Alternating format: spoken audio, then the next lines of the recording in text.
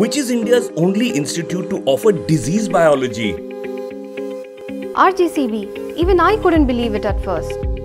They even have courses for molecular diagnostics and DNA profiling. They have top tier labs and promote hands on learning.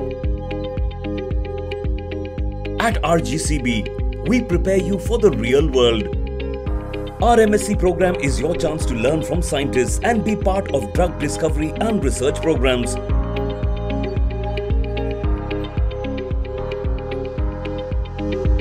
So, when are you joining?